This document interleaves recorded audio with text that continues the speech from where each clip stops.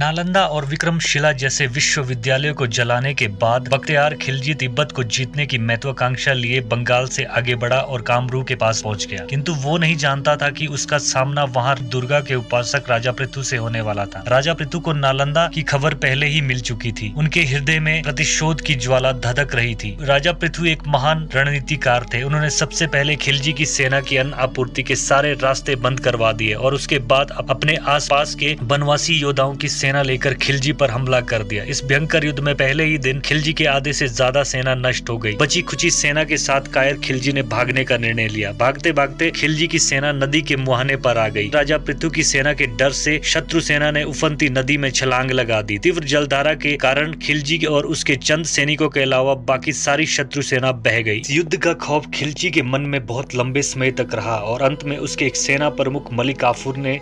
सोलह में उसे मार डाला